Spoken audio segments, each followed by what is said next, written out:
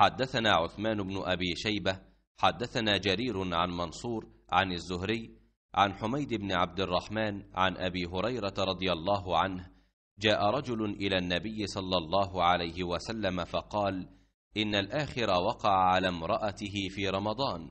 فقال أتجد ما تحرر رقبة؟ قال لا.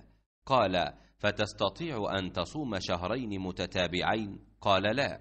قال أفتجد ما تطعم به ستين مسكينا؟ قال لا.